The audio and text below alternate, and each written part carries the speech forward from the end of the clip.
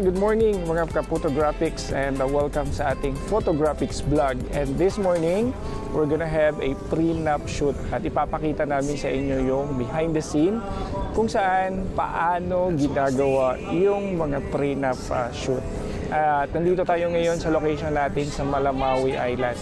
And we're gonna explore the Malamawi Island Titingnan natin yung mga magagandang beach nila, titingnan natin at pupunta tayo doon sa uh, mataas na burol kung saan doon tayo mag end ng day natin.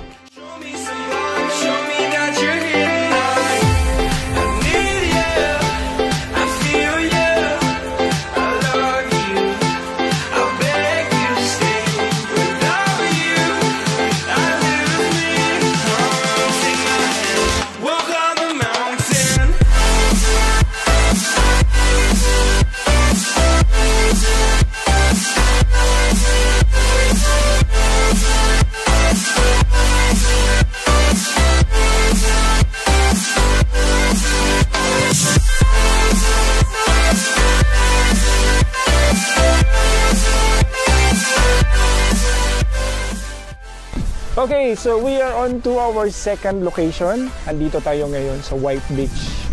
Uh, it's about magnoon time na ata. Uh, kukuha tayo ng konting b-roll and then we will take advantage of the low tide. Habang low tide, maganda yung naglalakad sila sa beach uh, uh, barefooted and then we can have our lunch. So, just check it out.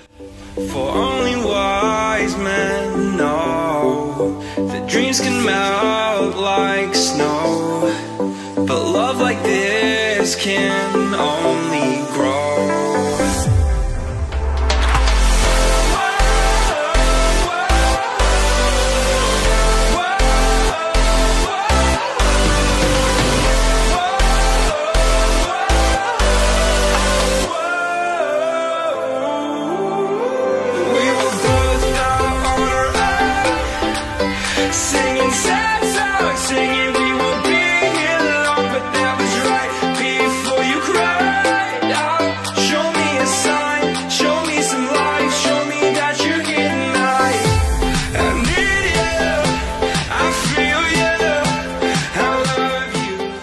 Okay, so first nandun tayo sa Malamawi Central Elementary School then second doon tayo sa beach ng Malamawi, yung White Beach and last one is dito. So while waiting habang um, medyo malakas yung ihip ng hangin so we will wait for it to medyo mag-subside and then ang mga last shoot natin will be more on aerial shot.